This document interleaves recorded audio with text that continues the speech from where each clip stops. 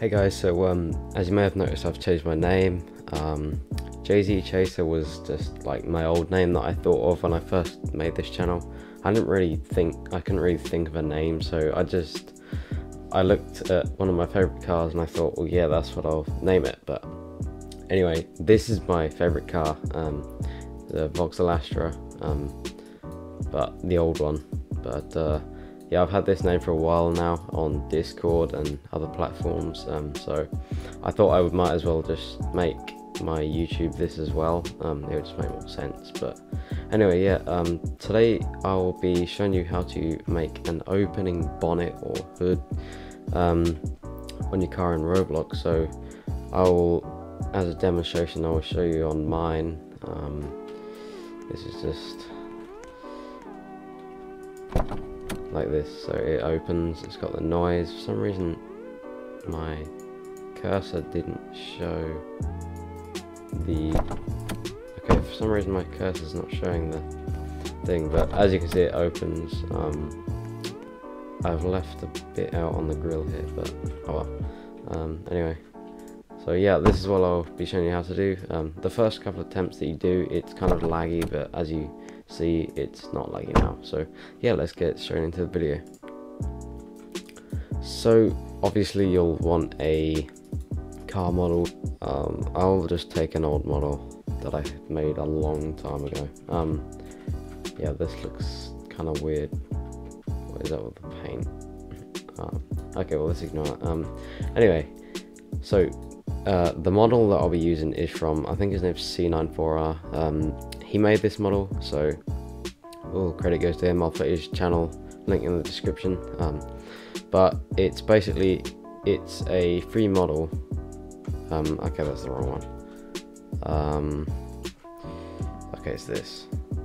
Okay yeah so that's the guy's name. Um, but yeah you just want to get this. Um, i'll put the link in the description but what you want to do is you just kind of want to roughly kind of I know put it like here. Um, I'm just going to turn move and rotate off. Make it a bit easier. Uh, it'll kind of do this because it's like a weird model but anyway you kind of just position it in the corner here. And then um, you want to like uh, I think you go into your car um, you go into your car. You get your bonnet you get the hood. Um, you put this and then you go to your thing your you go to the HK you put it in here and then you put it in the door. Uh, you'll need a script though. There is a script you need so well I just you need it's on like a load of free models so if you just search up like Audi R R8 um, I think there's one on one of these models. I can't remember what one it is though um, pretty sure it's this one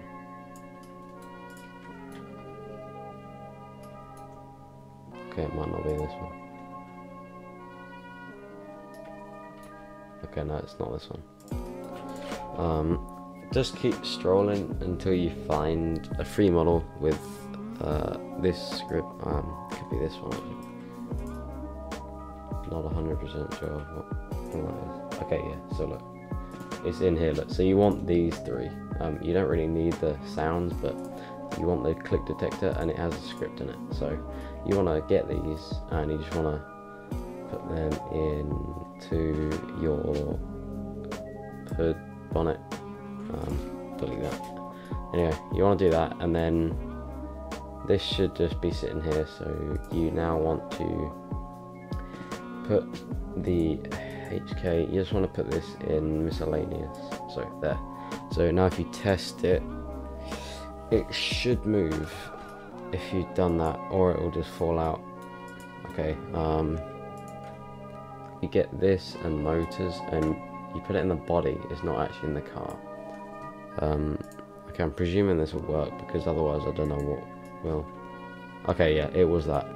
So now if you kind of click it it should open like that if you I don't know if you put it like that but anyway that's how it opens so it does open that's, that's good um, ignore my weird camber this was when I was like first learning to make slots and stuff it's, it's uh, it's not brilliant.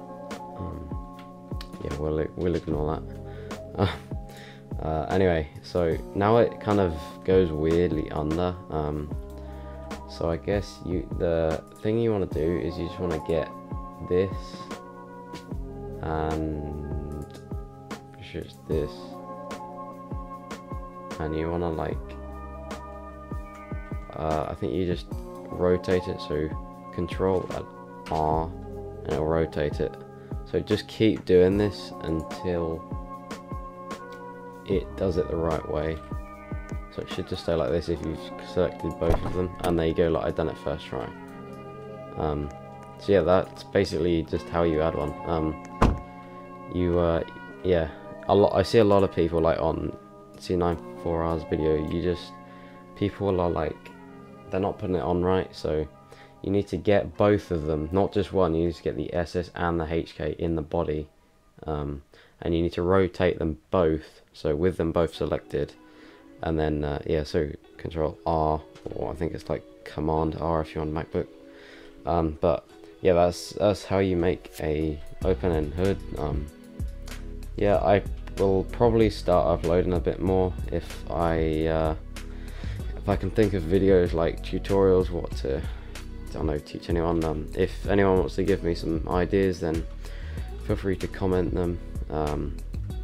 There could be some BeamNG content in the future because I'm learning to uh, make mods. Um, it's like it's really hard and I'm struggling to understand it, but I'm, I'm getting there. I'm getting there. So yeah, um, expect that. Probably showcases and stuff of mods or I know just adding PBR and stuff but anyway yeah um, hope you enjoyed that tutorial sorry for not uploading for a long time uh, I just I didn't really feel like uploading.